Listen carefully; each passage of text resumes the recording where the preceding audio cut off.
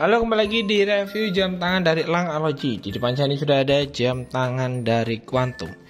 Ini adalah jam tangan Quantum seri ADG 1021370 untuk yang seri ini Dan yang ini ADG uh, 1021390 Nih kalian mau yang dilihatin warna apa?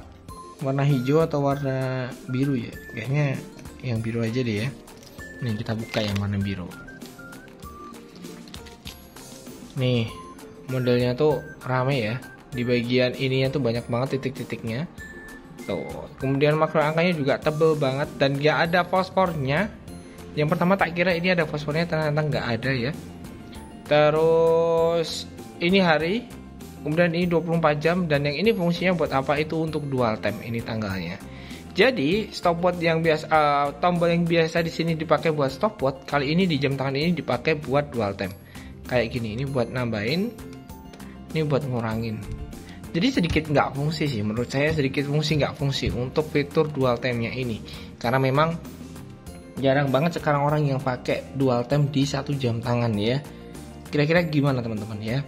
Nih kacanya dan ini tuh tebel ya kacanya rada sedikit keluar gitu nih.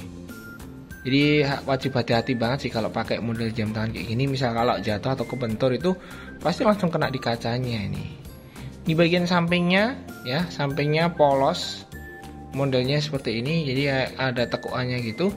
Di bagian sini itu ada di bagian crownnya ada logonya Hi Quantum terus di bagian belakangnya ada tulisan Quantum Adrenaline ADG 1021390 A stainless steel water resistnya ada di 100 meter register model. Wow water resistnya 100 meter loh jadi jam tangan ini memang bisa buat berenang tapi di permukaannya aja. Nih strapnya tebel dan ini tuh stainless ya tebal dan stainless. Untuk bagian bakalnya dia udah pakai bakal yang double click kayak gini. Jadi kalau uh, ini stekin dulu gini, terus selanjutnya kalian pakai ini. Nih, dan ini bukaannya dipencet gitu. Ya. Ini ringnya warnanya biru ya. Untuk setting jamnya gimana kalian tinggal tarik full aja. Terus kalian putar ke bawah kayak gini ya. 24 jamnya otomatis ngikutin. Kalau untuk setting tangganya ditarik setengah terus diputar ke atas ini di bawah di ke bawah gini. Tarik setengah terus putar ke bawah. Nih. Ya. Terus untuk fosfornya kayak gimana nih? Jadi dia bisa nyala itu di bagian jarumnya aja. Tuh di bagian jarumnya aja ya. Yang jarumnya ini yang ini sama ini tok. Yang bisa nyala. Yang lainnya nggak bisa nyala.